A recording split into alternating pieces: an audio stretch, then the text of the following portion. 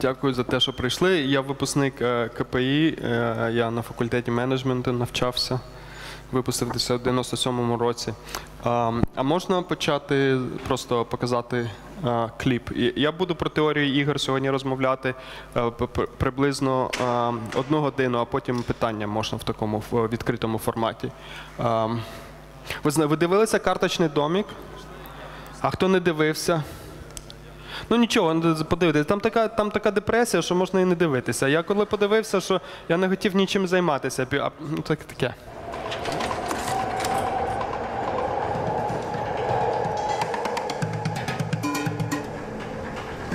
Ты подумала над тем, о чем мы говорили?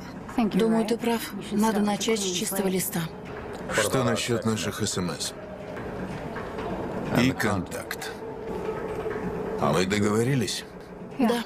И мы оставим позади всю эту ерунду, будем доверять и помогать друг другу.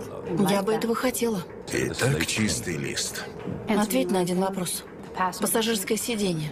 Ты сказала, Руссо пытался выбраться, значит, не было ничего. Мы же договорились. Я хочу тебе верить, но мне нужны подробности. А ты отказываешься делиться. В чем вопрос? В тот вечер, когда Руссо сорвался, он был в отеле на благотворительной акции ракового центра. Все есть в полицейском отчете. Рэйчел Познер в ту ночь была в том отеле. Кто это? Девушка, которая была с Руссо, когда его арестовали. Я не знал ее имени. Она исчезла, Фрэнсис. Когда? Не изображай удивления. Я показала партии ее фото. Один из них ее вспомнил. Она проститутка. Наверняка она бывает во многих отелях. Но именно в том, в тот вечер, Я как будто с мисс Корски разговариваю. я ни с кем это не обсуждала. Хотела сначала спросить тебя. Я понятия не имею, что случилось в тот вечер. Только то, что Питер снова запил. Я не знаю, кто там был, а кто не был. О чем сожалею. Возможно, я смог бы его остановить. Ты знаешь, где Рэйчел? Послушай меня. Я пытаюсь защитить нас обоих. Эти вопросы может задать кто угодно. Но никто не задает, кроме тебя. Не представляю даже, к чему ты клонишь. Я попыталась счастья. Пришла к тебе в дом. Дала понять, что готова на все. Нарушила профессиональную этику, нормы морали. И я готова за это отвечать. Это был мой выбор, и мне с ним жить. Я хочу идти вперед, но я должна понимать, во что я оказалась втянута. Я хочу быть уверена, что не замешана в чьем-то Договаривай. чьем-то убийстве. Боже. Я хочу верить тебе, Фрэнсис. Я знаю тебя.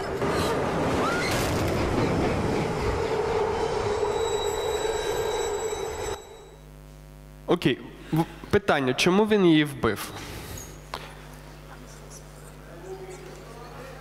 Хтось, хтось знає? Так, будь ласка, ви перший. Мені е, можете трошки, трошки up, сказати голосніше. Вона знала бу- або здогадувалася, або підозрювала про те, що Андер вбив е, Руссо, і відповідно це була таємниця для це дуже ризиково, і він не хотів, щоб це розкрилося. Так, це правда. Вона знала на нього чи підозру мала, що, що він когось там ну, не вбив, а щось там зробив.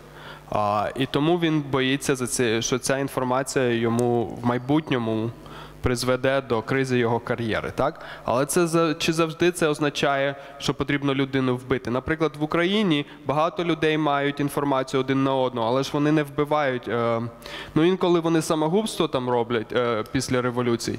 Але то таке, це ж не, ну, не дуже багато людей, так? Чому саме в цьому, і ви правильно кажете, що вона щось знає, але чому в цьому випадку він вирішив її вбити саме, а не якось домовитися чи, чи щось придумати по-іншому.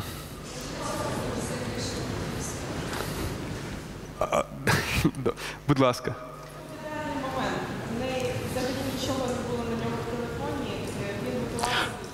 Згоден. Якщо вбивати, то класно вбито. Це нема питань. Будь ласка, було так, згоден. Вона нічого корисного дати не могла, а вбрати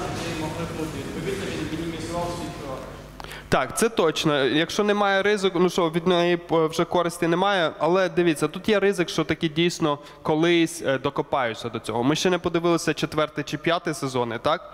Е, І завжди може, що там хтось щось побачив. Такий ризик також є. І тому людина, ну він може маленький, так, але дійсно. Ем, Ді- е, добре, але ну тобто логіка така, що ризики від вбивства вони менші, ніж ризики від того, щоб вона залишилася живою. Будь ласка. Ще не згодом, можливо, він бачив, що вона йому піддалася на те, що він їй запропонував, що зможе їй допомогти вирости. Можливо, він думав, що знайдеться інша людина, яка їй може запропонувати більше, і вона піддасться іншій людині, яка знищить.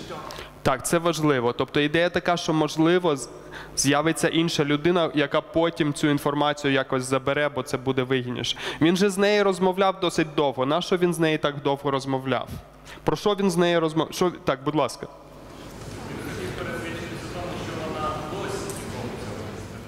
Так, це важливо. Якщо ви хочете вбити людину, то вам потрібно пере... пересвідчитися, що немає ваших смс-ів. Я з цим згоден. А, і він, і що, якби вона зараз сказала, це таке, ну якщо ви думаєте, ви всім кажіть, щоб вже ви всім розказали все. А, тоді, може, вас і не вб'ють, коли в такій ситуації залишиться. Але він досить довго. Так, будь ласка. ситуацію ту, що вони розмовляли, один один одного не бачили. Коли вона пішла за ним, вона могла його побачити. Можливо, він побоявся того, що вона побачить. А вона, вона його знає вже давно. Вони там багато обізатів. Ну так, так, так. Тобто вони, вони е, там вони коганці, так, якщо не, не були. Тобто там такого питання, вони, ну. А, а, я не, ну так.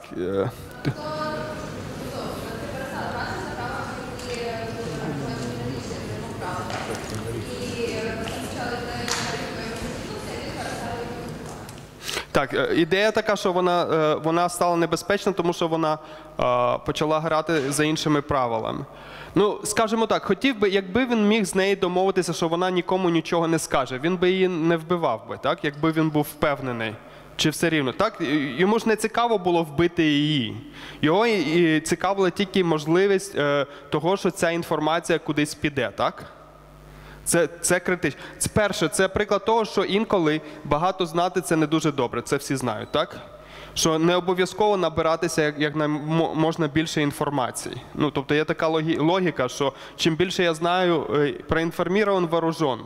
Це не завжди, бо в стратегічній ситуації, якщо у вас є інформація, це може спонукати інших людей е, протидіяти про вас. Якщо ви збираєте, е, наприклад, компрометуючу інформацію на людей, які вище за вас чи нижче за вас, в них можуть бути інтереси вас вбити чи нейтралізувати в інших.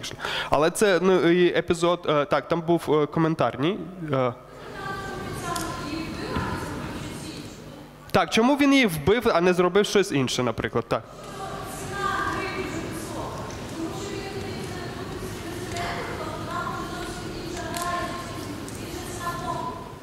Так, це дуже висока ціна, згоден. А, я хотів про що поговорити, що в нього, вони б могли б домовитися, що він, вона мовчить, і він її не вбиває. Якби вона могла довести йому, що вона ніколи нічого нікому не скаже, то нащо їм було б вбивати її? Так? Його, його, його метою не є вбити, його метою якось похоронити цю інформацію, так? Будь, будь ласка. Она ж, э, эти факты, которые она ему говорила, то есть э, вот он ее там спрашивает, там, много там проституток бывает, и так далее. она структурировала эту информацию определенным образом, опасным для него. Поэтому если там э, вопрос, она ему дает какие-то гарантии, никакие гарантии. У нее есть определенный ход мысли, который ведет к нему конкретно. Правильно. То есть у нее четкое понимание информации. Э, У нее, не- у нее какие другие методы могут быть? Дискредитация, да? Если она что-то когда-то скажет, это ерунда, она пьяная была. Да, мы там как бы вместе сходили в бар два раза, и как бы, ну, она теперь в ответ что-то там, да? Но у нее достаточно четкое понимание, поэтому он с ней долго разговаривал. У него не было выхода. То есть как, как вы доказываете человеку, что ваша информация правдивая, если я хочу вас обвинить в чем-то? Я не, могу, я, я не могу доказать такие вещи, потому что я единственный свидетель. Но я могу дать много непрямых вещей, которые свидетельствуют о том, э, о том, что я в теме.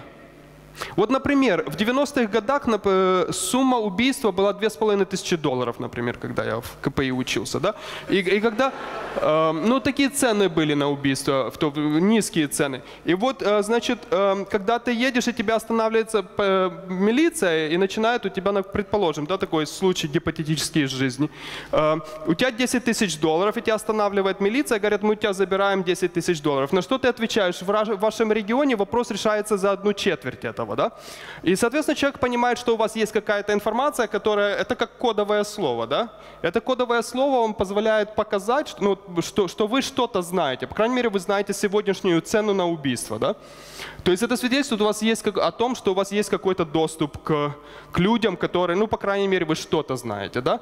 И, и, и, и вот в данном случае она достаточно много сказала таких вещей, которые бы убедили репортера И, и дискредитировать ее было бы сложнее, да, то есть у нее есть непрямые доказательства, которые он знает, что с большой вероятностью кто-то другой сможет проверить. И поэтому у нее есть информация, несмотря на то, что как бы это не в ее интересах. То есть если бы он ей сказал, если, ты, если бы они могли написать контракт, ты молчишь, иначе я тебя убью. Она бы подписала этот контракт, я молчу. Потому что никто не хочет быть убитым. Но этот контракт выполнить нельзя, да? Вот проблема украинской экономики состоит в том, что у нас эти контракты, которые есть, мы их не можем выполнить, потому что у нас судебная, я не про убийство уже, да, про то, что у нас судебная система не работает. И, соответственно, у нас приходится вступать в прямую борьбу, да? У нас приходится строить свою, как олигарху, империю, покупать свой телевизионный канал, покупать своих газет, журналистов, судей и так далее, и так далее. И ты бы хотел не тратить 400 миллионов долларов в год на поддержание этой своей империи. Ты бы хотел эти деньги отдать чисто, чтобы было независимое им средство информации. А, Для того, чтобы они могли помогать строить, развивать рынки. Да? Но у тебя нет выхода, потому что ты знаешь, что ты этого не сделаешь. Другой олигарх купит и тебя съест. Да? Вы бы хотели договориться и подписать то, что называется новым социальным контрактом. Да? Новый социальный договор или новый олигархический договор, где люди обижают, а, а, обязуют на друг друга не нападать. Я сейчас возьму вас вопрос, я прошу прощения. Вот. Но вы не можете, потому что судебная система не работает. Вы не можете написать контракт, чтобы вас не кинули. Когда вы едете в Вашингтон и разговариваете с потенциальными инвесторами, все семьи, которые с какими-то украинскими корнями, они жалуются, что за последние 25 лет их в какой-то мере какое-то из украинских правительств обмануло. Неважно какое, но у каждого не очень приятный опыт, да? И у них были подписаны контракты, эти контракты были понятийные, а потом оказалось, что как там формально чего-то нет. Вот пример, как Будапештский меморандум делали, да? Я летел раз в самолете, с офицером, который, знаете, вот эти Ю- Ю-2 самолеты, которые летали во время Советского Союза, шпионили, да? Он тогда, он мне рассказал, как он летал, он, наверное, в ЦРУ работает или что-то, в бизнес-классе мы летели, и, и- и он рассказывал такие вещи, что вот это где-то как раз Кучма подписал этот договор а, будапештский, да, в конце 90-х, он прилетал, потому что, оказывается, украинское правительство не учло 6 боеголовок. Почему не учло 6 бейгл? Потому что они официально еще не были приняты со склада, понимаете? И, соответственно, по украинскому законодательству они еще не были, не входили в часть договора. Американцы были немножко в шоке, потому что они, ну, обиделись на это, потому что понятийно договорились, что все боеголовки, как они там у вас оформлены, это ваши проблемы Но все боеголовки сдаются, и, соответственно, это была небольшая неприятная вещь. То есть скидки такого плана постоянно есть. Из-за того, что есть скидки, приходится вот заниматься вот такими вещами. Да? Вам приходится брать вещи в свои руки. Иначе, э, я сейчас к этому вернусь, я обещал взять вопрос. І, е, я повертаюся на Укра- до української мови, перепрошую, бо питання було російською. Я разумею, я российскую буду. Я подумал просто, вот э, он почему он ее убил? Потому что он действовал в своей логике, а она действовала в своей логике. У них были разные, разные уровни логики. Она ему задавала вопросы с целью как бы уточнить, и не более того, насколько я понимаю. Я не видел этот сериал вообще. А он как бы начал это трак- трактовать, ну это то, о чем вы говорите. Он это трактовал по-своему. И как бы понял, что как бы, у меня другого выхода нет. Хотя на самом деле, и она, собственно, эти вопросы задавала, потому что она не предполагала, что он может так поступить. Вот это великолепное замечание. Оно как раз выводит на следующую идею. Неважно, что на самом деле она собиралась сделать. Важно то, что он опасался, что она расскажет. Этого было достаточно для убийства. То есть неважно, что правда не важна. Важны ожидания. Если я сегодня ожидаю, что вы будете воровать, п- э, платить судьям, давать взятки, то и, и, э, использовать эти упрощенку для того, чтобы конкурировать со мной, не платить налоги, да? А я хотел играть честно и платить ЕСВ полные налоги, а вы будете использовать упрощенцев, то у меня нет выхода. Я буду использовать упрощенцев и уходить от налогов. Только потому, что я думаю, что вы так себя будете вести. Вы же будете думать, что я себя буду так вести. И, соответственно, вы тоже будете вести, э, соответственно, уходить от налогов и так далее. И так далее. Несмотря на то, что мы с вами очень хорошие и порядочные люди, несмотря на то, что мы желаем лучшего для Украины в будущем, я ожидаю, что вы будете играть по старым правилам, и, соответственно, у меня нет выхода, независимо от того, что на самом деле вы делаете, у меня нет выхода, как играть по старым правилам. И когда вы увидите, что я играю по старым правилам, или вы подозреваете, что я буду играть по, по старым правилам, у меня нет выхода, как, э, э, у вас нет выхода, как продолжать играть по старым правилам. То есть, когда экономика или сторона находится в то, что называется плохое равновесие, когда все заняты борьбой друг с другом, вместо того, чтобы развитие общего блага, да, то выйти из этой ситуации очень сложно. То есть равновесие в Украине настолько плохое, что страну колбасит с периодическими майданами, революциями и так далее, и так далее, а, большими и маленькими кризисами. Мы видим даже, что новое правительство, это уже второе, у нас было временное правительство, у нас есть новое правительство. Оно тоже непонятно, насколько оно устойчивое. То есть что-то не то в целом в системе. Но выйти из него простыми описательными вещами, давайте примем хороший закон или поменяем конституцию, нельзя. Потому что мы с вами можем договориться, что завтра мы платим налоги. И с утра мы придем, и я подумаю, будете ли вы платить налоги. Даже если мы договорились об этом, это ничего не значит. Закон – это бумага. Да? В Конституции Украины написано, что людей убивать нельзя. Там есть право на, на жизнь. Но это не, не имеет значения, как оказалось, да? А, в, широком смысле этого слова. Поэтому закон это, это не, не, не то, что э, это не клетка железная, которая будет выполняться. Да? Оно- закон только будет выполняться в том случае, если я думаю, что вы будете выполнять, и вы думаете, что я буду выполнять этот закон. Вот. И, соответственно, для того, чтобы что-то изменить, выйти из плохого в равновесие в хорошее, необходимо нам ожидать совместно, что вы будете жить по-другому, и я буду жить по-другому. Но, к сожалению, в постколониальных странах, к которым относится Украина, постсоветская страна, вот, где э, внутренняя элита и лидеры мнения были зажаты полностью и не давали им возможность вырасти. У людей есть огромнейшее недоверие к государству и к власти, независимо от того, являются власти новые люди, старые и средние. И поэтому, когда приходят новые люди к власти, потому что у, к ним есть недоверие, у них нет выхода, как играть по старым правилам, потому что никто не верит, что они будут играть по новым правилам. И, соответственно, у нас этот цикл повторяется. Но я хотел бы поднять более важный вопрос, концептуальный. Чем отличается теория игр от других подходов? То есть теория игр это какой-то концептуальный подход к вопросам. Да? Вот как мы привыкли думать? У нас есть причинное с- и есть следствие, да? причинно-следственная связь. Мы думаем, что если я включу этот микрофон или я его выключу, то меня не будет слышно. Я его включил, и опять меня стало слышно. Вот это причина, и то, что вы слышите, это следствие. Очень понятная процедура. Таким же образом мы живем в экономике. Мы пишем законы и ожидаем следствия. Мы хотим провести реформы, и мы ожидаем, что станет лучше. Мы думаем, реформы – это причина, следствие – это, например, процветание Украины. Мы думаем, закон по борьбе с коррупцией или антикоррупционная э, – это причина, людей надо посадить в тюрьму, после этого не будет коррупции. То есть это такой подход изменения общества. Этот подход наблюдается везде. Когда мы видим, как МВФ нам что-то говорит, или когда нам лидеры политические что-то говорят, подход концептуально является таким. Он является, что давайте сделаем это, и от этого станет лучше. Изменения в обществе построены концептуально таким образом. Теория игр это не приемлет такой подход. И вместо этого мы воспринимаем то, что называется равновесием. И равновесие это не в физическом, не в естественном смысле равновесия, когда ничего не меняется.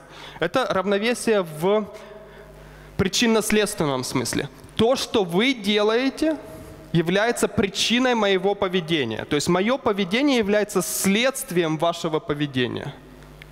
Но в то же время мое поведение является причиной вашего поведения. То есть мое поведение одновременно и следствие вашего поведения, и причина вашего поведения. Да? То есть нету начала цепочки, нету причина, следствие, следствие, следствие, следствие. Есть причина, следствие. В то же время это следствие является причиной. То есть, что происходит? Я веду себя плохо, агрессивно, я использую жесткие методы, некорректные методы борьбы э, конкурентной, потому что я знаю, ожидаю, что вы будете таким же образом играть. Вы будете меня бить ниже пояса в боксе, соответственно, я буду вас бить ниже пояса в боксе. Потому что я ожидаю, вы так себя будете вести, я точно так же себя буду вести. Ваше поведение является причиной моего поведения, а мое поведение является причиной вашего поведения. Тут нету начала, за которое можно подтянуть и изменить ситуацию. Тут нету кнопки, где возьмешь вы и поменяется ситуация. И также с реформами. То, что происходит сегодня в Украине, это попытка найти вот эту кнопку, которой нету. Вот. Кнопки нету. Закон не является кнопкой. Закон является отражением воли, в нашем случае, депутатов и, возможно, каких-то политических игр. Да? То есть закон не является причиной поведения. Закон — это следствие. Но в то же время закон и наложит какие-то новые правила игры на людей и повлияет на их поведение. Да? Вот. И, и, и вот этим теория игр концептуально отличается от других направлений экономики. Я говорю про теорию игр в экономике. Вот, или в политике, политической теории. Вот эта теория игр от- отличается принципиально от других подходов. Она немножко депрессивная в том плане, что и что теперь делать? Вот, а как реформы проводить? Как стать жить лучше? Да? Вот как лучше нам жить, если вот мы за- завязли в этом круговороте вещей и, и нету, нету начала, за которое можно потянуть, да? Но это примитивный взгляд на вещи. Всегда есть что-то, за что можно потянуть. Мы всегда игра, мы всегда играем в более высокую игру о том, какие правила игры, да? И в этой игре постоянно по- по- появляются новые игроки. Вот Майдан это обычно пример новых игроков, когда люди не согласны с тем, с какими-то политическими элитами, и они, у них есть возможность что-то заявить. Да? Вот давайте вспомним э, февраль, конец февраля 2014 года, когда было соглашение между оппозицией, Януковичем, российскими представителями и представителями Евросоюза, да? Они подписали, за- э, подписали соглашение, помните это, да? Его принесли к людям, и люди его отвергли, да? Я вообще не понимаю, чем они думали, потому что как можно, как можно не понимать, что есть другие игроки? Появились новые игроки. Эти люди, эти игроки были очевидны, это были люди на улице. Никто им не платил, у них было какое-то свое мнение. Да? И, соответственно, вот эти стандартные игроки, там, Евросоюз, Россия, э, различные политические элиты в Украине, они каким-то образом пропустили развитие нового пласта игроков. Возможно, это был средний бизнес, возможно, это была социально активная часть общества, и, и- и эти, эти игроки не были учтены в игре, они были проигнорированы. То есть конфликты жесткие происходят, когда появляются естественным образом новые игроки, и эти игроки пытаются завоевать свою власть в игре, да? Вот. И, соответственно, то, что произошло. Сегодня мы видим, что эти игроки есть, присутствуют, но посмотрим, насколько у них есть возможность влиять на будущее. Да? То есть ничего нового в этом процессе нету. Этот процесс, э, когда переходили от монархии и давали право голосования людям, э, такие же процессы происходили. Да? Появлялись новые люди, у которых есть власть. То есть, то есть мы возвращаемся к вопросу того, что такое настоящая власть. Вот что такое власть?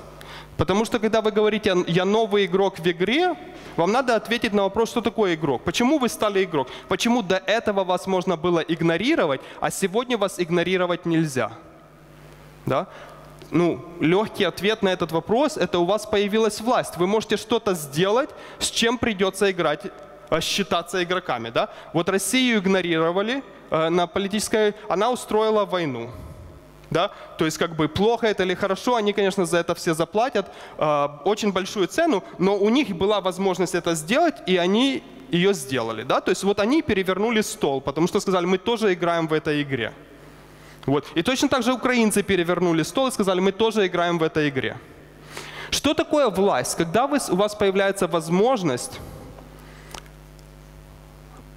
стать игроком. У меня нету на этот э, вопрос ответа хорошего. И, наверное, ни у кого нету. Вот. э, Сегодня нету хорошей модели власти. Да? Объяснить, что такое власть. Есть два подхода. Один – это физическое действие. У вас по- появилось ружье, да? и вы можете из него застрелить кого-то. Это власть. Другое – это информация.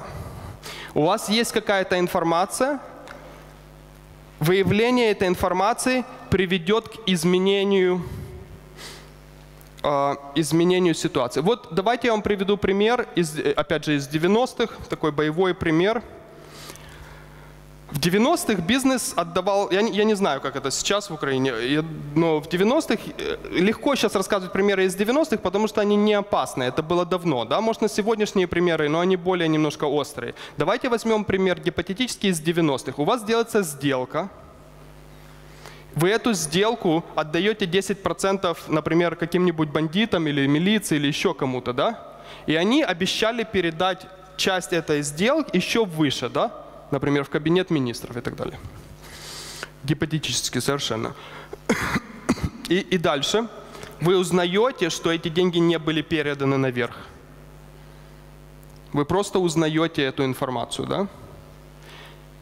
Эта информация дает вам власть. Да, потому что, открыв эту информацию и сказать, что вот этот человек украл у вышестоящих, приведет к очень крайне плохим последствиям для него, да? Вот. Это тоже стратегически очень странная ситуация. Почему, ну как бы, почему тот факт, что кто-то у кого-то что-то украл, почему эта информация должна быть важная? Вот кто-то может ответить на этот вопрос? Почему, если я знаю, что вы обманули своего партнера в сделке, по- ну вот почему это? Вот смотрите, все же знают, что все всех обманывают в Украине. Тут новости нету, да? Вот если вы мне придете и скажете, вот вам жена изменяет, ну это будет неприятно, или там муж, да, но как бы вероятно э, э, процент измен в Украине по сравнению, например, с какими-то другими обществами, ну то есть разница, да, то есть как бы надо подозревать, что с вероятностью точка 7, если взять среднюю отдельную семью, то, возможно, есть измена с одной или другой стороны. Точно так же взять любой контракт, с веро- вероятность скидка на этом контракте достаточно высокая, по крайней мере, в 90-х.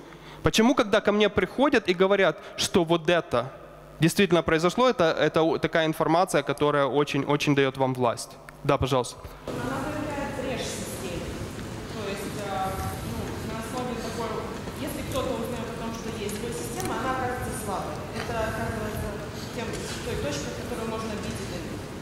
Вот смотрите, я вчера читал отчет о э, зверствах НКВД. Я возьму ваш вопрос через секунду. О зверствах НКВД в 30-х и 37-х. Да?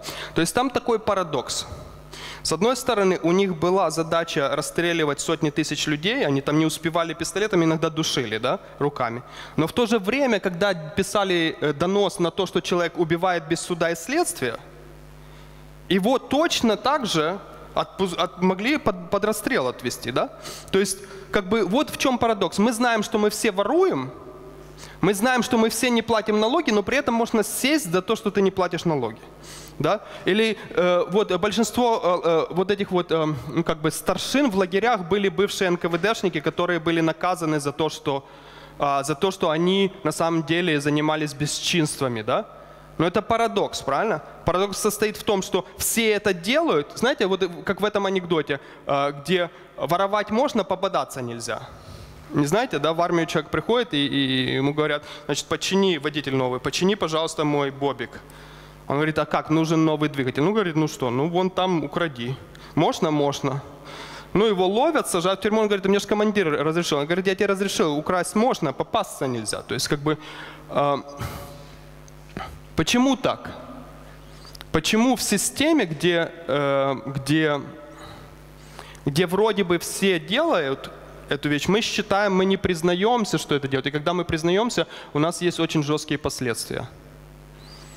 Вот, да, пожалуйста. Я обещал еще вопрос. Вот я, я возьму, а потом к вам. Хорошо, да?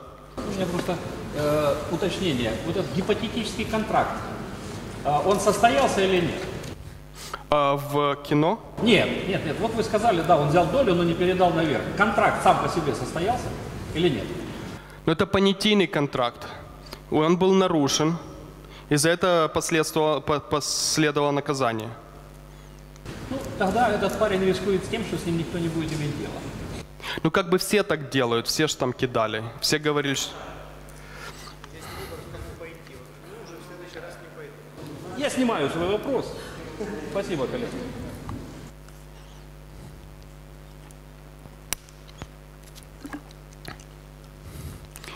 Это правило игры, да, если, вы знаете, если на вас написали донос, вы проиграли, да, то есть вы должны быть лучше, вы должны быстрее написать донос на вашего противника, оппонента.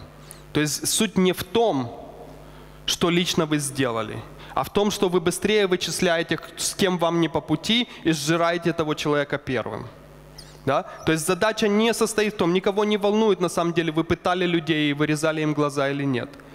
Важно, какой-то процент, 10% людей в этой системе должны быть точно так же наказаны для того, чтобы все боялись.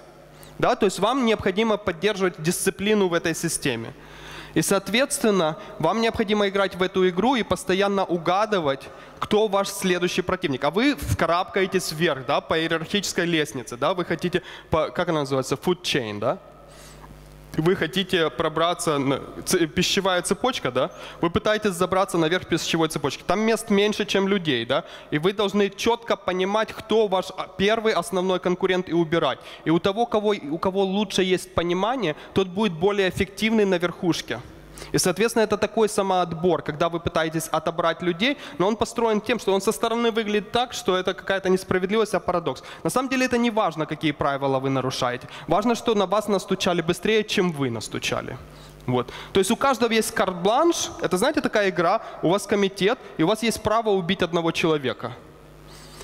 И все каждый день пытаются убить одного человека, да? И вы постоянно, если над вами верхушка остановилась, вы туда двигаетесь. Или у вас там есть вероятность убить одного человека раз в 10 дней, да? То есть это такая игра, в которой вы постоянно идете вперед. Окей.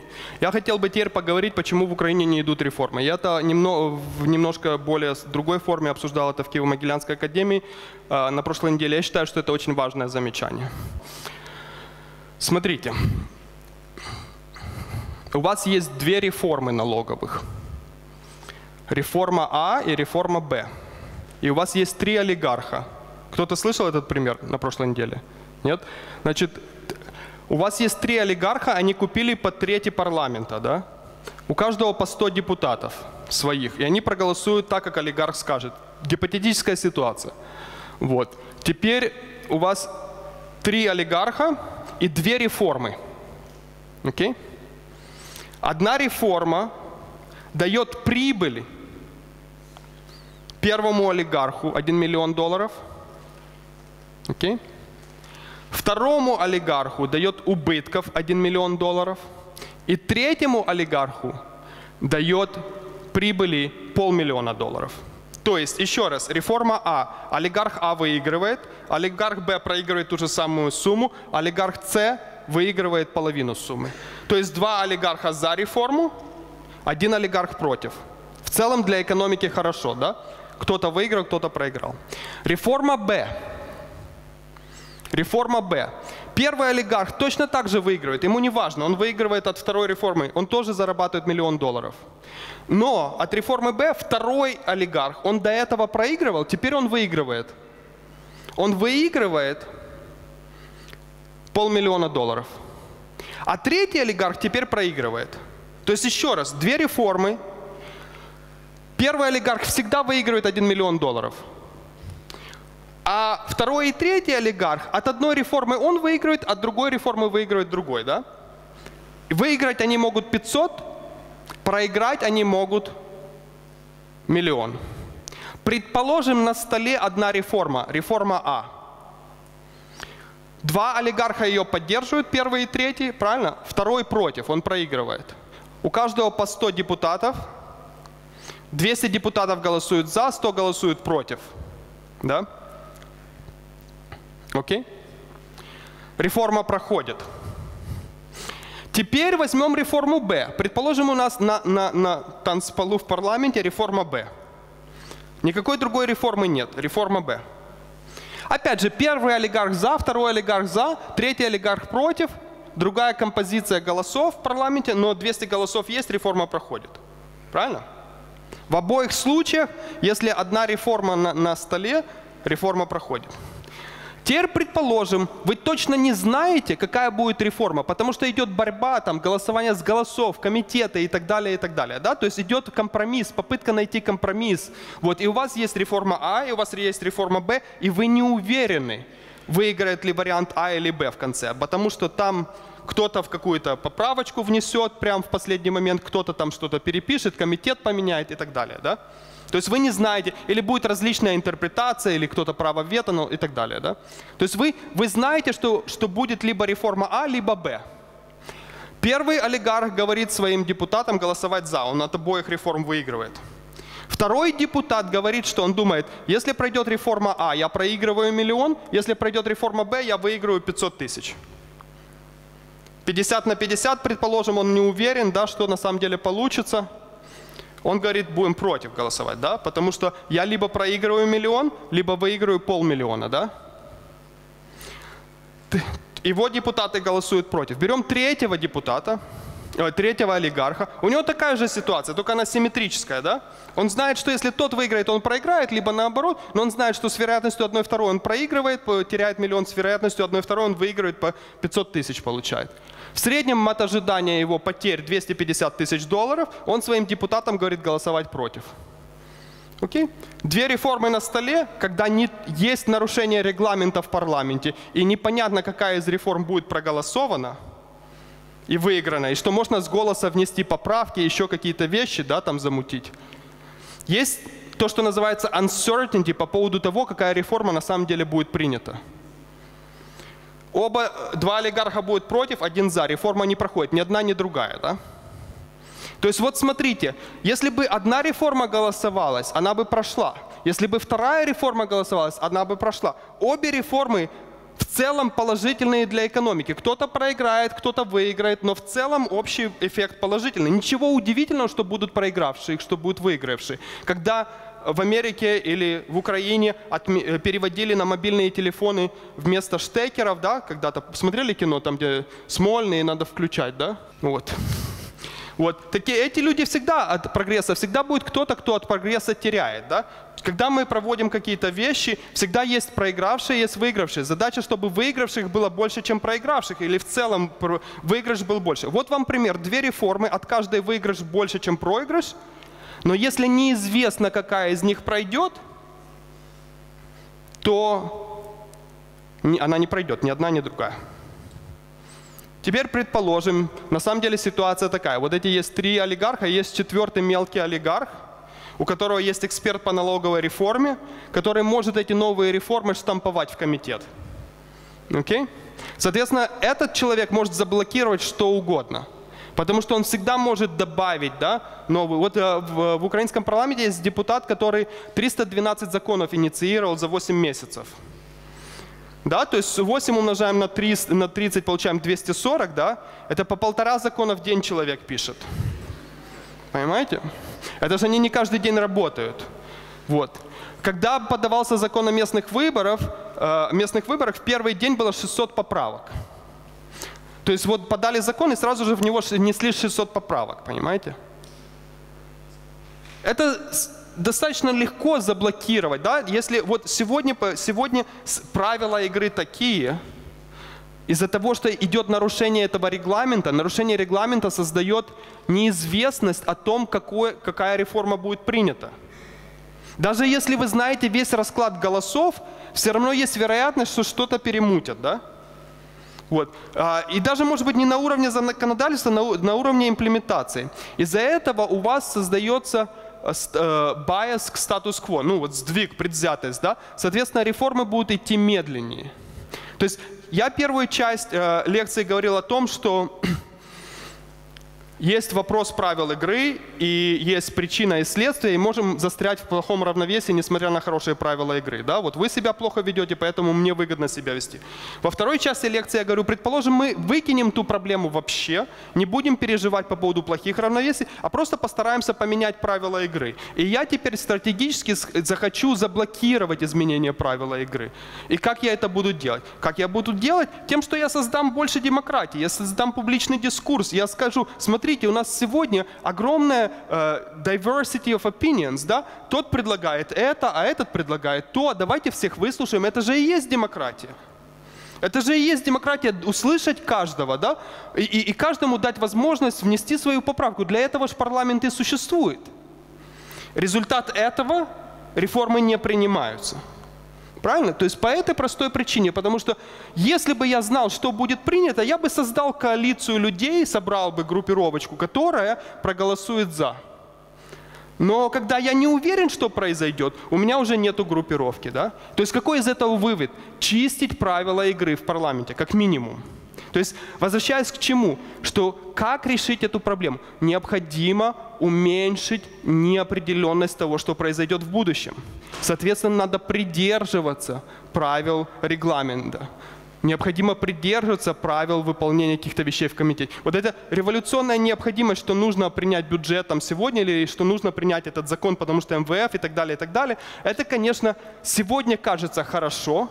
В декабре 2014 года казалось хорошо, примем быстренько бюджет, поломаем регламент, иначе нам не дадут денег. Но это создает прецедент, который в будущем позволяет реакционным силам блокировать хорошие изменения. Вот. И всегда можно найти хорошего эксперта, он честно будет в это верить. Да? У меня есть определенные взгляды, и они иногда радикальные. Если меня поддержат, я буду с ними выступать. И точно так же ко всему. То есть демократия, всегда это можно нарисовать как демократический процесс, но он приведет к блокировке. То есть вот эта вот э, грань между диктатурой проведения реформ и демократией проведения реформ, она очень сложная. Но вот теория игр, она нам подсказывает следующее.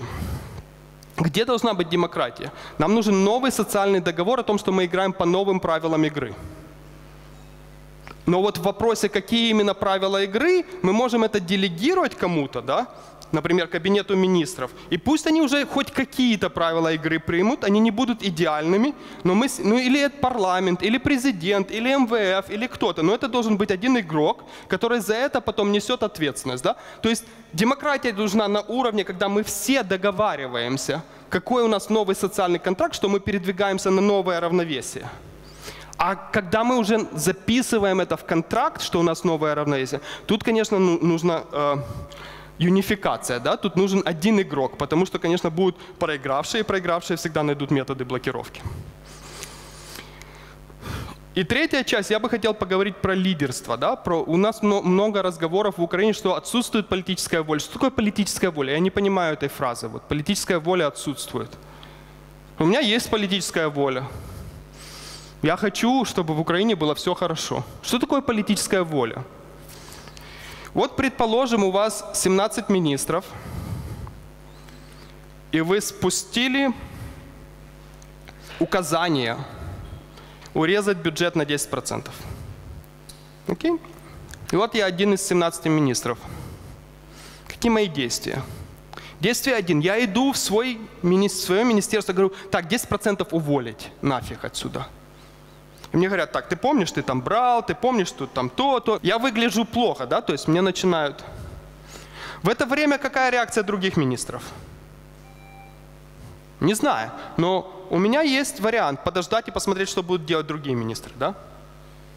То есть либо я беру инициативу и ломлюсь, и ломаю свое министерство, что тяжело и больно, либо я говорю, давайте посмотрим, если другое министерство. Во-первых, может быть, они сократят на 11%. Тогда мне только нужно сокращать на 9, правильно? Может быть, они все будут сокращать только на 8. Я тогда скажу, если они на 8, я тоже на 8. Правильно? А может быть, половина из них не сделает ничего. Тогда можно подождать, правильно? То есть сам факт, что мне сказали, сдайте 10% срезания бюджетного дефицита или там уменьшения бюджета, я буду смотреть, как другие себя ведут, да? Это то, что называется free riding problem, да? Если я увижу, что все остальные работают хорошо, наверное, мне ничего не придется делать вообще. Если я увижу, что все остальные не работают, мне тоже ничего не придется делать. Зачем мне быть героем? Правильно? Вот. Теперь вопрос состоит, например, вы действительно глава кабинета министров, и вам надо эту орду 17 министров, и там 170 за- заместителей департаментов, и 1700 а, людей, которые на потоках сидят, как-то загнать. И у вас нету никаких инструментов, никаких. У вас нету полиции, у вас нету честной прокуратуры, у вас ничего нет. У вас послереволюционная ситуация. Какие у вас действия? Что вы можете сделать? Вот вы один, тут в, в спину дышит кто-то другой, который ждет. Там, например, какая-нибудь политическая партия, которая не прошла на выборах, и они хотят кризис, потому что для них это будет возможность реванша. Да? Вот все, кто не попали под 5%, у них однозначно мотивация сотворить кризис, потому что они заходят тогда с большей вероятностью. Да? Особенно те, кто получили 4,75. Да? Вот. Те точно знают, что чуть-чуть люди обидятся на вас и скорее с какой-то вероятностью зайдут. У них есть мотивация. То есть у вас, вот вы премьер-министр или президент, вот за вами дышит еще орда премьер-министров и президентов. Вот. Какие ваши действия? А никаких. Правильно? Никаких ваших действий. Правильно? Теперь, если у вас 17 министров не хотят быть героями, почему вы должен, должны быть героем, да? Вот. Откуда взяться политической воле, если существует такая проблема внутри, эта проблема дальше расползается на, всю, на весь государственный аппарат, правильно? То есть, предположим, министр спустил действительно разнарядку 10%, а дальше там должны замминистров решить и так далее. Да, пожалуйста. Что? Если нет... А зачем во власть идти? Я вам отвечу на этот вопрос.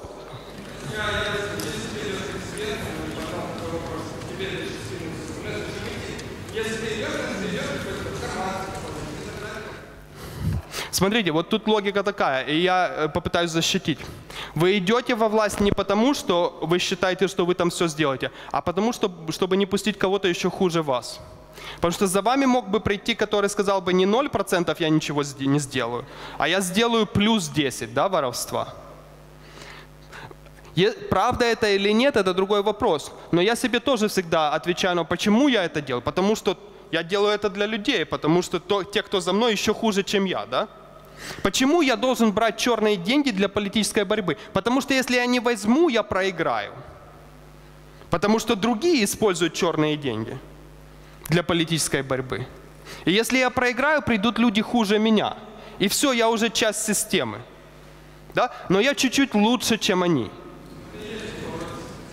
Ну вот, вы понимаете, что это стратегическая логика. Это не вопрос того, хороший человек или плохой, да? Это не вопрос как личных качеств человека, да? А это в то, что человек, который зашел, он действительно лучше других. Я, я ни, ни про кого конкретно не говорю. Я говорю, что человек заходит в систему, он действительно лучше других. И если он идет, ему будет, будет хуже всем. Ему, соответственно, приходится играть по правилам, которые очень плохие, и он становится частью этой игры. И точно так же, как провести, вот, как провести сокращение 10%, если никто не хочет сокращать? Да, пожалуйста.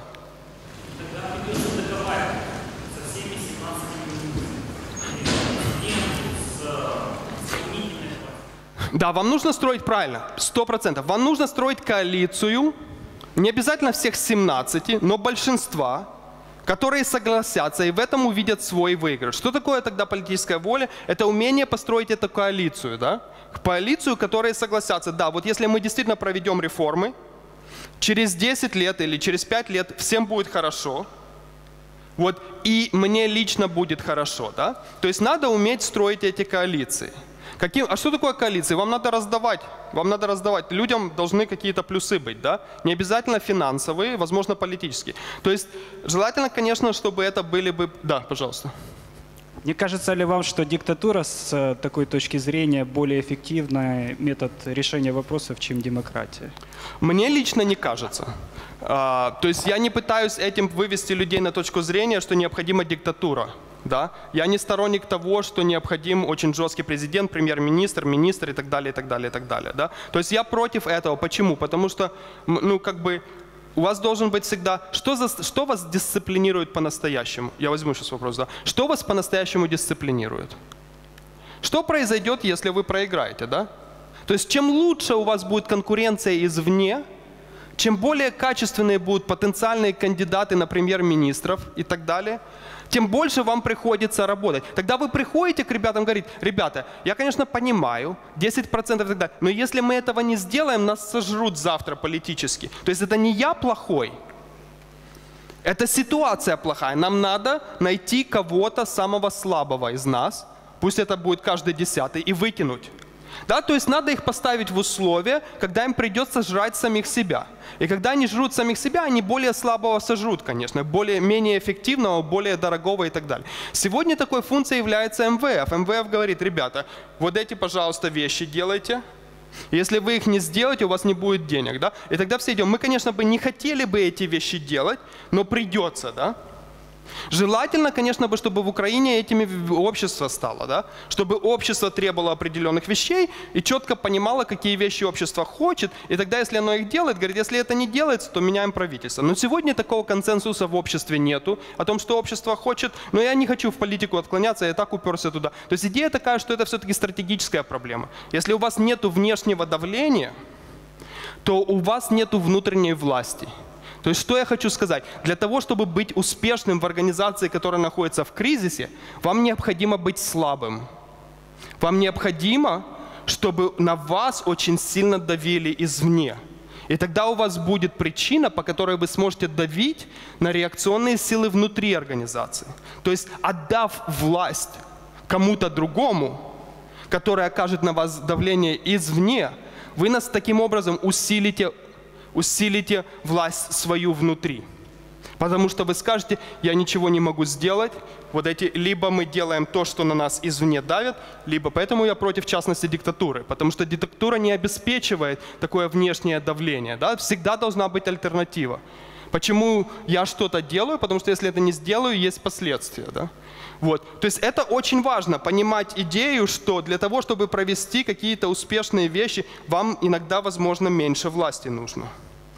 Чем больше у вас будет власти, тем больше на вас будет давление, чтобы вы использовали эту власть не в интересах кого-то других, третьих лиц, а в интересах тех людей, которые оказывают давление. Это как если я дома оставлю очень много денег, ко мне будут лезть люди, чтобы их воровать. Мне придется защищаться, ставить охрану и так далее, и так далее. Когда у меня эти деньги там где-то в банке, если это проблемы банка, да? точно так же, если я, например, э, являюсь государством, у которого огромное количество государственных предприятий, то очень есть большое давление, чтобы на руководство этих государственных предприятий поставить людей, которые преследуют определенные цели. И даже если вы честно против этого, вы будете каждый день заниматься тем, что вы будете отпихивать эти схемы. Если у вас не будет этих предприятий, соответственно, на вас нельзя оказывать давление. Вы можете те же самые предприятия вывести вовне, обложить их прозрачно налогообложением, 100%, если вы хотите, да, и тогда пусть это делится в одном общем котле, а не индивидуально по каждому предприятию. Вам нужно будет не, зап... не защищать предприятия одно за другим, за другим, а вам нужно будет защищать одну налоговую реформу и прозрачные механизмы взятия налогов. Да? То есть, ну, что тоже сложно, но легче. То есть, это, это еще один важный стратегический вопрос. Когда вы боретесь с кем-то, кто играет с вами эту игру, вы должны понимать, что когда нету правил игры, нету контрактов, не работают суды, все решается на уровне личном, да? на уровне доверия. То есть вам нужно какие-то сделки делать, вам нужно встретиться в метро, да? Вот, если бы ему нужно было встретиться с десятью девушками в метро, он бы, наверное, проиграл, потому что он просто не успел бы физически всех их убить. Потому что а, маленькое количество времени. Соответственно, надо понимать, что вам нужно противника, передавить тем, что у вас, вот у противника 24 часа в сутки, да?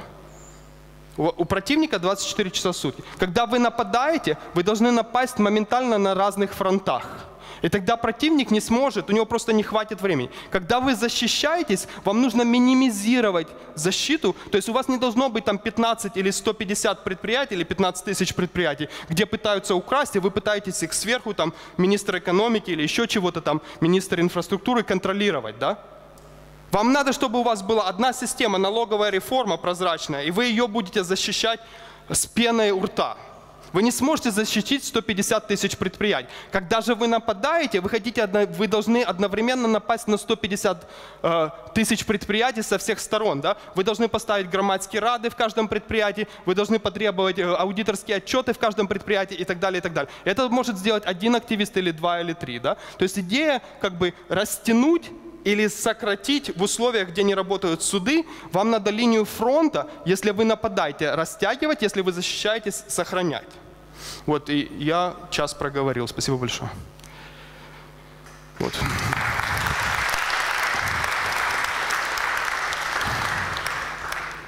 Скажите, пожалуйста, э, по, по вашему мнению, вот политика в Украине, это все-таки игра с нулевой суммой или это такая игра, где э, выигрыши могут э, быть больше, ну, от, от, скажем так, от, к одной раздачи к другой? Вот смотрите, и что такое игра с нулевой суммой? Это если я выиграл, вы проиграли, да? Сегодня очень часто такой подход есть. Если я с вами не согласен, вы будете бороться против моего мнения, чтобы, не дай бог, не получить репутацию, что вы проиграли. Потому что если вы проиграете, вы лузер там, и так далее, и так далее.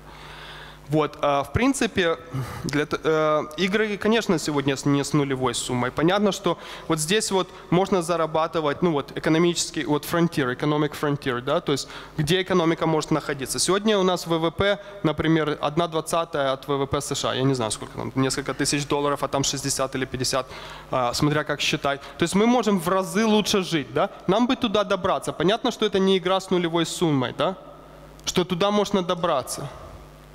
Но вопрос в том, как людей, для того, чтобы люди стали играть не в игру с нулевой суммой, а в более кооперативную игру, как вывести из этого режима, когда если я проиграл, то это означает, я проиграл по всем фронтам. Да? То есть почему у меня нет проблемы? Я сегодня могу ерунды наговорить, и даже если я завалю эту лекцию, у меня есть э, послужной список, да? у меня есть статьи, у меня есть, грубо говоря, 80% хороших лекций и 20% из них плохих. Ну ничего тут не сделаешь. 20% я валю лекции, а 80% не валю. Да, то есть, и иногда год бывает хороший, когда у меня ну, teaching evaluations очень высокий, но не каждый год. И на некоторые годы, года плохие. Вот в прошлом году я завалил там аспирантские лекции, паршивейшие, да, то есть как бы прочитал. И, и я знаю, что я не сильно переживаю, что я конкретную игру проиграю, да. Потому что у меня есть огромное количество игр, которые я выиграл. То есть если надо людям создавать вот то, что называется public record, public reputation record. Если мы знаем, что человек успешный, да, и мы знаем, откуда ноги растут, и мы его не подозреваем и не судим каждый раз о нем, да, то есть если есть депутат, и мы подозреваем, что он берет деньги, да, то на этого депутата у него должен быть послужной список 20 лет, известно, что он здесь сделал, здесь сделал, как он голосовал. И мы видим, что этот депутат, например, постоянно голосует за правые законы, а этот депутат постоянно меняет свои точки зрения. Да? У нас будет разное отношение, когда депутат... Мы скажем, вот этот депутат, наверное, ошибся, не разобрался, когда он проголосовал за какой-то плохой закон или там за хороший, за 1558, скандальный закон, например. Да? Если мы видим депутата с послужным списком великолепным, да, ну, мало ли, ну не разобрался. Или на... Если мы видим депутата, который постоянно перепрыгивает, да, то, соответственно, то есть надо создавать эти истории. Чем больше будет историй, то есть надо много игр совмещать вместе. И тогда это позволит нам добиться лучших результатов. Ну и худших тоже. То есть э, это может обратно ударить, потому что если я переживаю, что я завалю сейчас репутацию, я могу еще больше за нее биться. То есть тут смотря. Но в принципе идея много игр объединять в одну, чтобы мы играли одновременно много раз. Да, как, как да, как Это последствия. как в покере, надо сыграть много раздач и потом Да, ну, когда в играешь- среднем да. сыграть Да, в среднем играешь вверх. Ты не должен выиграть каждую, каждую. Не, не надо каждую битву выигрывать, надо важные битвы выигрывать. Ну, вы много раз говорили, что ничего не делается, потому что все ожидают, что все остальные будут ничего не делать. Вот в вашем гипотетическом примере про 17 министров.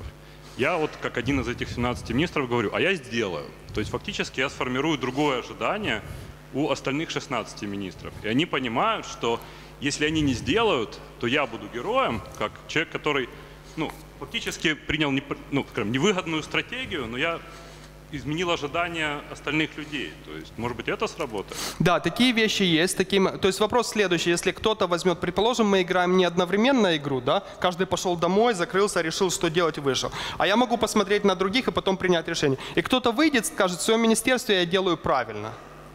И если это будет понятно людям внешним и так далее, то, может быть, это заставит других работать. Такие модели есть, и действительно такие модели рекомендуются. Иногда, когда ты понимаешь, особенно в стартапах, да, нужен лидер или два, которые очень агрессивно войдут и начнут делать, и, как, и тогда все остальные понимают, что, скорее всего, получится и подключаются.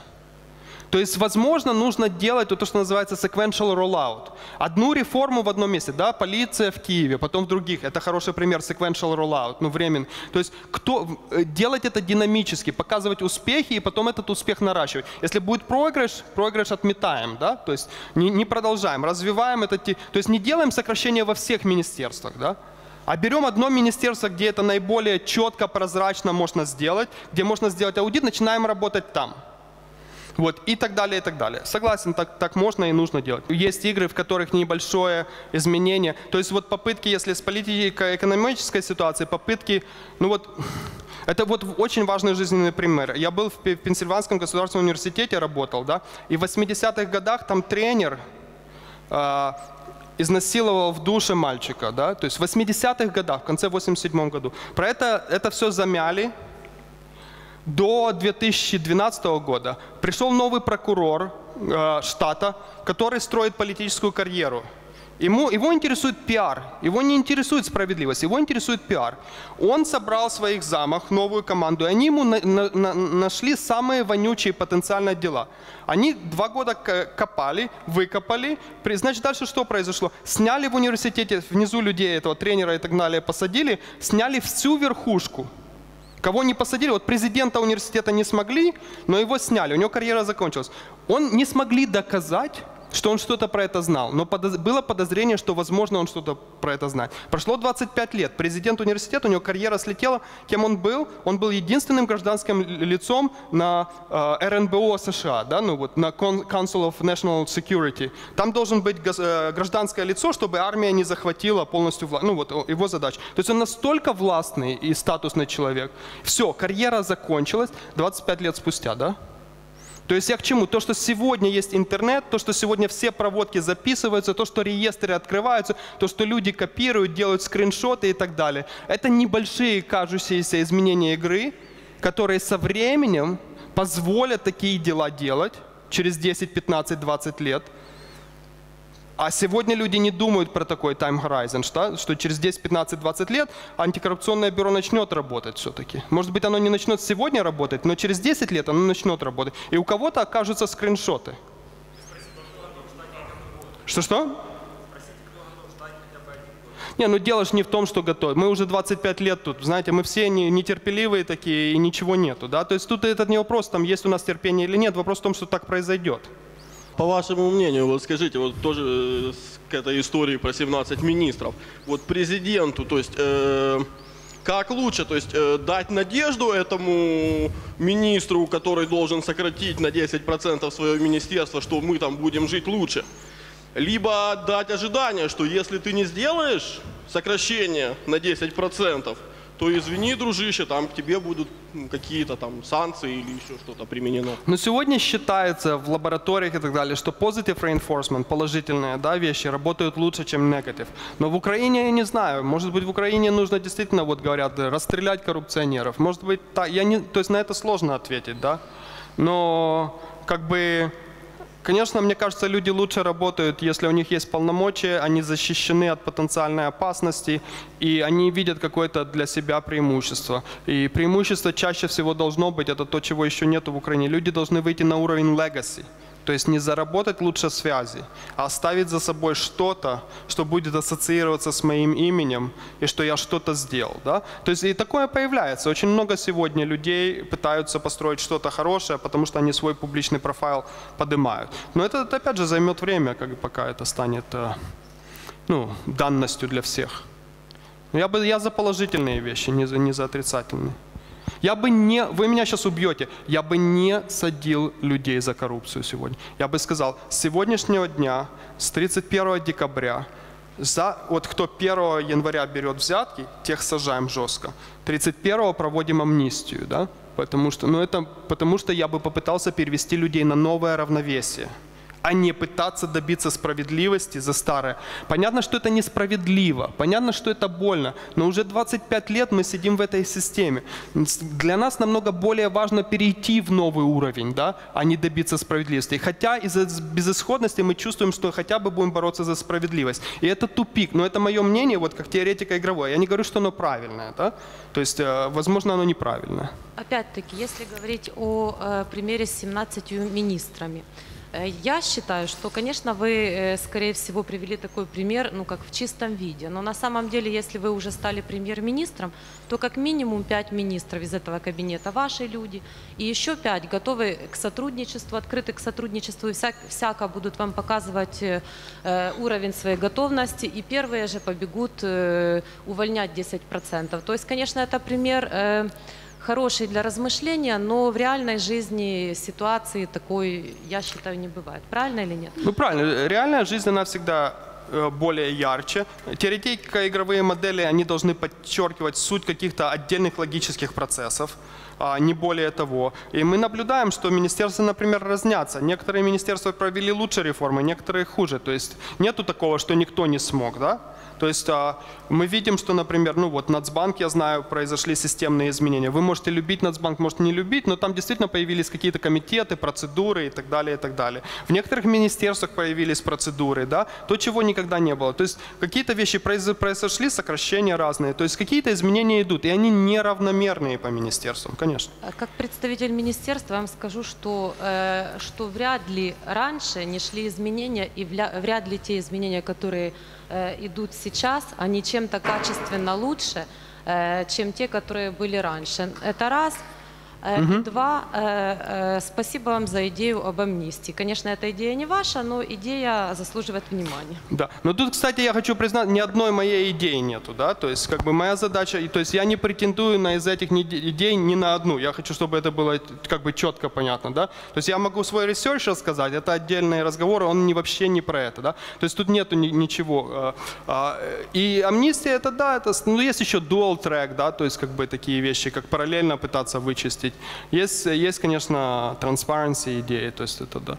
И это правда, что эм, многие, например, из законов, то, что мы знаем, многие из хороших законов, которые были приняты сейчас, они были подготовлены при Януковиче, например. То есть написано, они просто не были приняты. То есть такие вещи. Если говорить о том, что все произошло э, прямо вот сегодня, это тоже нельзя. Но, но лучше верить, что все будет хорошо. В какой стране, по вашему мнению, была применена вот эта вот э, теория равновесия? На практике показала хорошие результаты. Потому что, допустим, если брать э, историю с Сингапуром, э, то там как раз э, было противодействие и борьба. Борьба с коррупцией. И, э, мы это все воспринимаем и понимаем как э, best practice. Ну вот хорошо, про Сингапур. Это постоянный вопрос. И вот Северная Корея тоже хороший пример, где очень жесткое руководство, а результат другой. То есть эм, э, есть страны, в которых хороший диктатор. Никто не спорит, что если вы поставите хорошего диктатора, вот человек именно хороший, да, но проблема в том, что с хорошими диктаторами, ну это, то есть как бы, как, как быть уверен, что диктатор хороший, да, и еще у диктаторов есть тенденция становиться плохими со временем, да, то есть они вначале хорошие, а потом они становятся хуже. Э, Я не сторонник, э, то есть э, я не сторонник того, что необходимы какие-то жесткие методы. Я сторонник того, что Украина должна пройти свой путь. И он не очень легкий. Примеры, ну, давайте вот США возьмем, там, когда они пытались от Британии отделиться и бороться, и Конституцию свою делали. А, тоже крайне тяжелая ситуация. А, внутренней поддержки коррумпированный э, юг, юг вообще не поддерживает. А, правительство, которое присутствует, когда они Конституцию писали, они, им заново пришлось кон- всех делегатов собирать, потому что доверия нету к политической элите. А, Британия со своими войсками, когда они писали декларацию, то есть ситуация была хуже, например, чем в Украине. Единственное, что Британия там океан их разделял. А здесь мы не можем, мы хотим независимость, от, а прям, прям рядом. Якщо правильно вас зрозумів, то ви вважаєте, що шоків, як таких, які би вивели нас з цієї поганої рівноваги, ми їх не потребуємо. Тобто це ми якось будемо рухатись в правильному напрямку плавно, і всі мусимо зачекати, сказати дружині, я маю сказати, ну все, ну ми подивимося, як будуть жити наші діти. чи все-таки якісь шоки, можливо, які ми можемо їх спонукати? Такі Дивіться, я тобто там нещодавно написав на, е, про хірургію на Фейсбуку. Там було таке, що коли пацієнт при смерті, потрібно робити хірургію, але не можна, якщо він бухав і курив все своє життя, то після того, як він в нього йому зробили цю операцію, він вийшов там з коми і починає знов бухати, то не потрібно ще одну операцію робити. Потрібно змінювати стиль життя. Проблема в стилі життя і це еволюційний процес. Отак сказати, що ну можна один раз штовхнути, можна другий. Ну є 2004 рік, 2014, ну вже щось, ну скільки, ще 2018, скільки, скільки воно має бути, і що від того? Тобто сьогодні е, я сподіваюся на цю ідею, динамічну ідею, що а, ми зараз побачимо, що є люди, які гарні, і ми будемо, вони будуть становитися нашими role models, і ми будемо їх підтримувати. Вони будуть приходити більш до влади, і їх вплив буде більше і більше. Якщо можна ще уточнюючи, а от хто, хто, хто може бути при цьому арбітром, ну от що добре, що погано? То Люди ми, ми в маємо цілому, слухати когось. люди, люди мають собі Тобто бути не, самі не, не ледащими, це відповідальність кожного громадянина думати. Це відповідальність думати, а не читати а, інше. Вот у меня вопрос. Вот теоретики все это считают, это хорошо. А вот как вот в реальной ситуации вот в министерстве применить вот эти все математические модели и реорганизовать все? Как людям получить вообще знания, доступ к этой информации?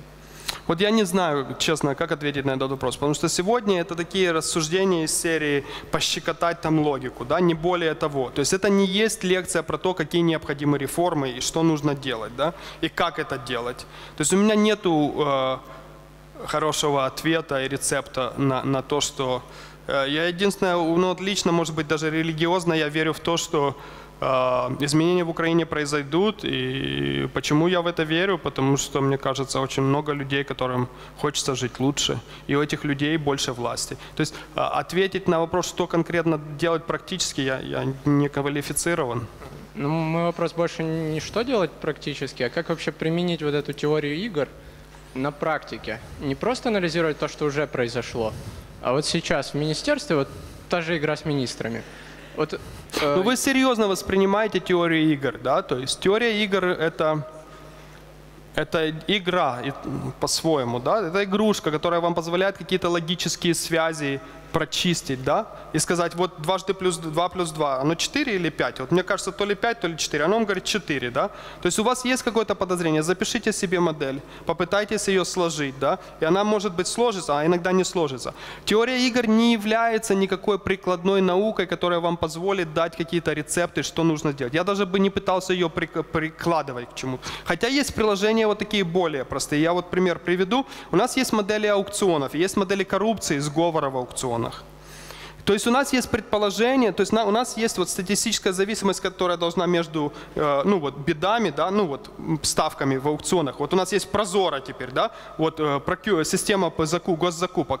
Э, конкурентные модели показывают вам одно распределение данных, сговорные модели вам показывают другое, да. Вы можете провести статистический тест, и он вам покажет, что, например, в Ровно, в селе в Ровно, или там в городе, в области Ровно, в этом направлении есть проблемы, да, ну то есть отклонения статистические. И это вам дальше вы можете отправлять туда какое-нибудь агентство по борьбе с детективами, ну, детективы, чтобы они смотрели более детально, что происходит. То есть теория игр, в принципе, может давать какие-то прикладные модели, которые можно потом использовать как лакмусовые бумажки для идентификации проблем. Но я бы не воспринимал теорию игр серьезно.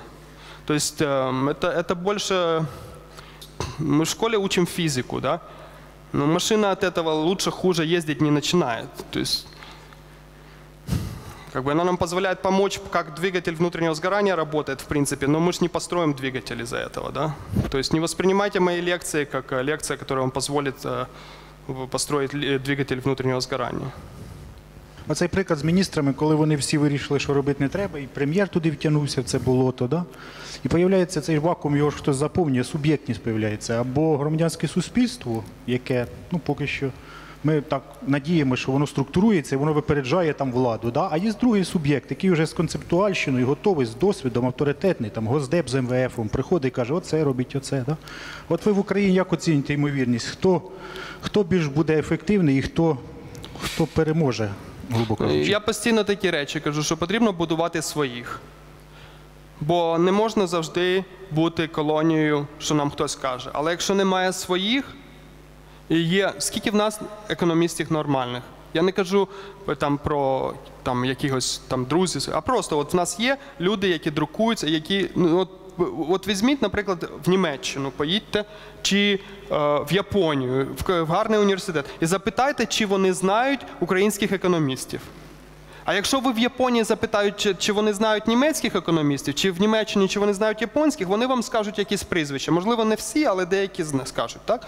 І тобто проблема сьогодні в тому, що українські, наприклад, економісти чи політологи досить ізольовані від, від світової думки. І потрібно вибудовувати цей рівень. І коли він з'явиться, ну. Е, Не буде, нам не потрібен буде МВФ, розумієте? Тобто це не можна завжди жити МВФом. Але сьогодні мені здається, що це найкраще, що в нас є. От з вашого досвіду, достатньо в Україні система стиснула, що суспільство громадянське ну, бурлитиме, не зупиниться. Достатня система. Ну, стиснула система, що ми не зможемо далі Ну, мені здається, що громадянське суспільство тут дуже активно. Воно е, настільки. Е, тобто, ну, наприклад, американський е, виборець, йому. Оце йому ці вибори, ну цікаво, але не більше, знаєте. Тут є таке питання, воно, воно фундаментальне. Чи в нас майдани, бо в нас немає класного телебачення, і це для нас соуп-опера? І ми всі ці займаємося, тому що нам щось нам ну, дивитися потрібно. Ми всі лазимо на Фейсбук, бо нема чим краще займатися, так? Чи це дійсно, дійсно справжній потяг суспільства змінити речі? І я не впевнен, бо, наприклад, вчора я подивився на дані, що а, от там є цей антикорупційний форум. Да? За, в- за вечір а, а, у Саакашвілі було 6 тисяч шерів на Фейсбуці, а donations було 32. Тобто зашерило 6 тисяч людей, а здали гроші по 100 гривень 32 людини на вечір. На ранок більше, але тобто те всі шерять, але ніхто не згоден платити. Тобто це признак, що можливо, що дійсно і не стиснула система достатньо. З другого боку, те, що люди відбудували армію чи підтримують і продовжують, це, це конкретні речі. Тобто десь може і стиснуло. Ну важко сказати. Будемо сподіватися, що це шоу не передавить справжній внесок суспільства. І тому дуже важливо, щоб шоу не захватило і, і суспільство і не відштовхнуло його. Ну, тобто ми в зоні фазового переходу, ми ще точки А воно не- буде ковбасити і воно буде назад кидати. Це не остання криза, але якось Україна намагається, тобто воно нормально. Ну тобто, це, це не нормально для нас, бо ми в цьому живемо, але нормально, в принципі, що воно та- туди-сюди кидає.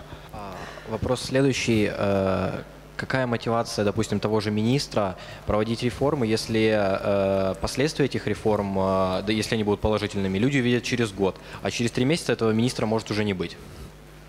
Тоже проблема, да, когда люди не знают, что их завтра, ну, сколько они там находятся, у них другая мотивация. Они, соответственно, концентрируются на каких-то краткосрочных э, вещах, как реструктуризация там, долга, например, или проведение одного законопроекта, или там какие-то вещи конкретные, да, и меньше думают о стратегических вещах. Ну, это естественно.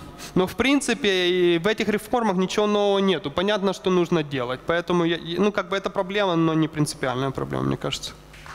Такой.